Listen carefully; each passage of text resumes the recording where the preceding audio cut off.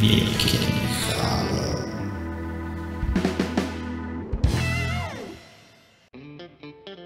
Będziecie zaskoczeni, z kim dzisiaj rozmawiamy.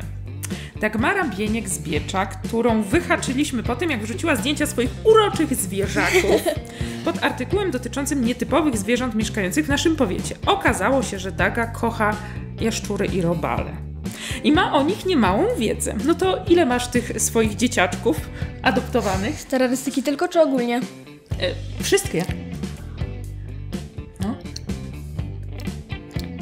6, 7, 8, 9, 10, 11 i dwa akwaria. I w bloku mieszkasz. Tak. Dobrze. No i pies. I pies. Dobra, to teraz y, będzie wyższa szkoła jazdy. Teraz podaj wszystkie imiona i nazwiska, przy czym nazwiska to są gatunki. Okej, czyli no to może zacznijmy od No. modliszki. To jest monster. Monster modliczka. Tak. Samiec y, modliszki Spondromantis gastrica. Nazwy z łaciny. Y, Druga modliszka jest, której nie wzięłam, bo jest strasznie malutka. Nie byłoby jej widać. Jest to... Nie umiem wypowiedzieć tej pierwszej nazwy. E, drugi tam człon to jest paradoksa. I to jest samiczka, no to ona jest malutka jeszcze. I ma na imię Czoka. Ślimaki? Teraz może? Ślimaki.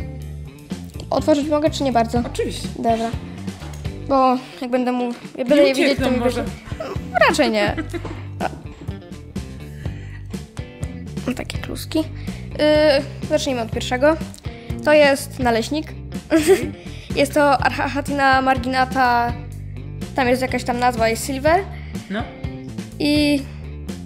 no Co mam jeszcze powiedzieć niby? Yy, o nich. No to to jest naleśnik, dobra. To jest figa. No. Yy, Lizahatina fulika janzai. A to jest One są wszystkie różne, prawda? Każdy. Tak. Y, to są te same gatunki. To jest maczek. Mhm. Y, jest to też Archahatina marginata, tylko to jest nominał. Mhm. No i to jest najmłodszy i najmniejszy. To mnie interesuje. Okej, czyli dobra. Te kluski zamykamy. Przynieść. Dobra, nie zamknę ich całkiem. To potem muszę wstać. Są to gekony lamparcie. Dwie dziewczyny. Ta była pierwsza. Jest to Foxy. Znaczy, to są gekony lamparcie, to jest stara nazwa. Yy, Dlaczego dwie dziewczyny? Koleżanki. bo, bo nie można trzymać dwóch samców, ani się nie powinno trzymać sami, y, samców i samic, bo samiec może zagryźć samicę po prostu. Aha. Okej. Trzeba w haremach trzymać minimum dwie sztuki na jednego samca, dwie samice. Im więcej, tym lepiej. No i to jest Foxy, to jest odmiana Classic. Mhm. I no co, jest z giełdy z Krakowa?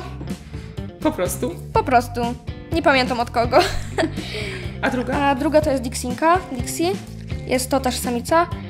Jej odmiana to jest chyba Hedradar, ale nie jestem pewna. A z czym, czym one się różnią od siebie? Ubarwieniem, tak? Ubarwieniem i wielkością, bo ta jest grubsza ogólnie. Mhm. okej. I ona jest z Warszawy. Od Halloween Trousers. Warszawianka, tak? Tak, Dobrze. od Halloween Trousers, czy jakoś tak. No. Bardzo mili ludzie. Dobrze, a w domu co zostało? Wymieniajmy. Y, papugi, faliste dwie. no. Jest lem, lemcio, lemon i jest frugo. Mhm. Co jeszcze? Jest żółw mija. On jest najstarszy chyba. Tak. Są karliki szponiaste, takie małe żabki. I no nie mają imion, bo to są jednak żabki. Dużo ich jest? Sześć. Okej. Ciężko by było zapamiętać. No. I ogólnie na nie mówię ropuchy. Tak jak gdzieś tam mówię, no to ropuszki. I... No jest jeszcze akwarium z rybkami. Jakimiś konkretnymi gatunkami? Zmieniałam akwarium, troszkę tam popadało, ale są neony, fantomy i zbrojniki tak ogólnie. Jak duże akwa- akwarium? 70 chyba 2 litry. Nie mało. No, średniej wielkości. I pies. I pies, szpic, mały. A nie wolałabyśmy zamienić tych wszystkich e, zwierzątek na jakiegoś ładnego, puchatego kotka? Mm, Nie. Do głaskania? Miałam królika swego czasu, ale mam złe doświadczenia, bo po trzech dniach odszedł niestety. Królik. Tak. I od, od tego momentu postawiłam tylko na terrorystykę. No, w 90% na, tak naprawdę. To są zwierzęta bardziej wytrzymałe tak naprawdę i długowieczne. Znaczy, modliszka i ślimaki nie bardzo, ale one potrafią nawet 15 lat dożyć. A jak wygląda opieka nad takim gekonem? No nie jest trudna. Yy, raz w tygodniu, dwa razy robię takie porządne karmienie. Co to znaczy porządne karmienie? 10 karaczanów. Dzień, no to tam w tygodniu tam dostaną na przykład jednego drewnojada, czy tam parę mączników, zależy. I wszystko to, y, obtaczam w witaminkach, Mhm. y, w kalcium i no w jakiś tam, jakiś tam... I robisz to sama osobiście? Tak, Okej. nie brzydzę się tego. No bo niektórzy mogliby się brzydzić. Te dostają codziennie warzywka posypane kredą i mają codziennie do dobo- dobowego dostępu sepie. Okej. Kość mątwy, takie, takie coś białe, one sobie to jedzą po prostu, żeby dostarczyć sobie wszystkich wita- Okej. witamin. A modliszka? Karczany, na przykład niektórzy karmią świerszczami, ale to nie jest najlepszy wybór, bo mają strasznie dużo chityny w pancerzu. A chityna nie jest najlepsza dla zwierząt. Miałaś kiedyś parkę modliszek? Nie, to, są, to jest moja pierwsza, jakby druga modliszka, bo pierwszą miałam, ale coś się stało i z niewiadomych przyczyn mi padła. No i tą mam teraz od połowy stycznia. No już miała dwie wylinki i już jest naprawdę duży.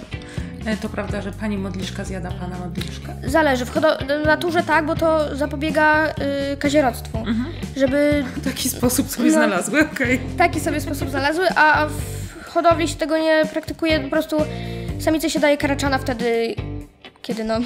Pojad, tak? Tak, i samica też jest dopchana na maksa, żeby po prostu nie miała ochoty go zjeść. Na przykład u tych się to często zdarza, bo to jest dość agresywny gatunek modliszki. Jakby dla człowieka nie są agresywne, ale w porównaniu do siebie. Czy te zwierzaki chodzą po domu normalnie, tak? Nie. Nie. Mogliby się domownicy zdziwić, tak? Znaczy, na przykład niektórzy puszczają, ale nie ma takiej potrzeby. A jakie było pierwsze zwierzątko, które miałaś? W ogóle, no to były rybki. Rybki. Zaczęło się od rybek. O Od Jezu, rybek. Ja też synowi kupiłam rybki. I to tak ma wyglądać dalej? Dobra. Wiesz, że ty masz bardzo wyrozumiałych rodziców? Znaczy, na, na, na tą kluskę, żeby się zgodzili na tą kluseczkę, namawiałam ich 4 lata. Sukces. Więc wyszło, znaczy mamę namawiałam głównie, bo tata jak się dowiedział coś tam rodził na początku, że się wyprowadzi i tak dalej, ale później się zgodził, sam pojechał po nią ze mną i mu się bardzo spodobały. Sam chce mieć swojego gigona. Tylko innego, E, ożeńsionego. Dużo było takich zwierząt, które były i odchodziły. W sensie chodzi mi o to, czy przez te kilka lat, bo od kiedy e, hodujesz zwierzątka? Kiedy te rybki się pojawiły pierwszy raz? Nie wiem, miał 3 lata? Okej. No, to, Jeszcze, jeszcze, jeszcze w Polsce jak mieszkałam. no to przez te wszystkie lata dużo zwierząt się przewinęło? Przez te wszystkie lata było z 12 chomików. O matko. Czyli co, dochodzimy do setki ze wszystkimi? Z rybkami licząc na pewno. A nie szkoda ci, jak zwierzak odchodzi? Szkoda mi bardzo, strasznie to przeżywam. No, to jest akurat nieprzyjemna część tego hobby. I Jak sobie z tym poradzić? Zastępujesz go zaraz nowym, czy trzeba... Zazwyczaj tak. Okej. Mam jakieś takie dwa dni takie gorsze i później A jak poznać, że zwierzakowi coś dolega? Widać to wcześniej? widać raczej po nim, tak, czy jest taki ospały, czy jest, no, czy nie chce jeść, zależy. Na przykład, ale na przykład te panienki lubią sobie głodówki robić. Ta już miała dwa Jak to razy. panienki, tak. Panienki. A y, czy byłaś z, ze swoimi zwierzakami kiedyś u weterynarza? Z tymi takimi powiedzmy Z egzotycznymi? nimi tak? jeszcze nie. Ale no, przydałoby się w któryś dzień, ale nie mogę tu żadnego na okolicy znaleźć. Takiego, który by się podjął, no, tak? Znaczy, nie mają specjalizacji w tym. Mhm. Bo to trzeba mieć specjalną specjalizację z Mhm. na egzotycznych przykład, zwierząt, no, tak? Na przykład te same leki na odrobaczenia nie będą działały u nich, jak u psów. Mhm. Więc no, ktoś musi mieć specjalizację w tym. E, Gdybyś miała nieograniczony budżet, to jakie zwierzę by trafiło do twojego Wąż. domu? Jaki wąż? Yy, boa cesarski. Co na I- to rodzice? Na razie nie mówią, że jak się przeprowadzimy, może jakiś wąż. Tata jest za, za zbożówką. Mhm. Bo są małe, niegroźne, nie są w stanie w ogóle człowiekowi zrobić krzywdy, bo nie mają na tyle siły tak naprawdę. Może delikatnie gdzieś mogą przebić skórę, jak się bardzo denerwują. Na przykład jak ktoś karmi ręką, te myszy podaje ręką, te mrożonki, to mogą trafić po prostu w rękę zamiast w ofiarę, bo one widzą receptorami ciepła. I ciało jest ciepłe, y, ofiara jest ciepła, więc... no, Mogą się pomylić. Mogą się pomylić, nie trafić sobie. A Dlatego- był taki zwierzak, który zaproponowałaś w domu, a rodzice powiedzieli wybij to sobie z głowy. Pająk. Okej. Znaczy, no, Jaki to był pająk? Yy, Berchpelma. To było na początku, tak. ja nie pamiętam dokładnie jak, No. po prostu chciałam pająka, bo się zajawiłam w nie. I mama powiedziała, dziecko. Nie, jak byłam wtedy mała, jeszcze siostra była taka roczna, miałem wtedy 6 lat i po prostu miała jechać mi po tego pająka i powiedziała, że pan mi nie chciał sprzedać, bo mamy małe dziecko i może wystąpić alergia. Okej, ale em, jeszcze chciałam zapytać o co, e, bo jakby tego było mało, to ty jeszcze konno jeździsz, tak? Tak, tak. To tak e, dla relaksu, rozumiem. I konika Tak. kiedyś przed domem będziesz miała. Zobaczymy. Zobaczymy. A swoją przyszłość wiążesz w jakiś sposób ze zwierzętami?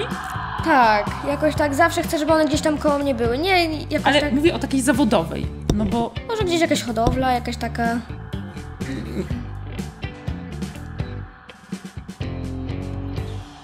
Ale nie mówimy o weterynarii, o czymś takim. znaczy- Nie. Zobaczymy jeszcze, bo jakby dla mnie jest straszna nauka y, tych wszystkich pierwiastków, tych jakichś tam biologicznych i tak dalej. A masz jakieś inne hobby oprócz zwierzaków, czy każdą wolną chwilę poświęcasz? Większość czasu, no, dla nich. Lub do edyku... do... edyku... nie słowię się. Żeby po, pogłębiać swoją wiedzę w nich, Mhm. w tym temacie. Jakiś dzień z weterynarzem? Można by było. Zorganizujemy? Słuchałaś naszej rozmowy z panem weterynarzem? Nie, nie. Musisz nadrobić koniecznie. To sprawdzę, jak wrócę. Dobra, to co? Dziękujemy za rozmowę.